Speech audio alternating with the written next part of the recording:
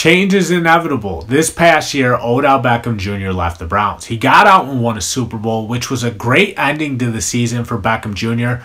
And Jarvis Landry saw what Beckham Jr. just did, and now he wants to try his luck somewhere else too.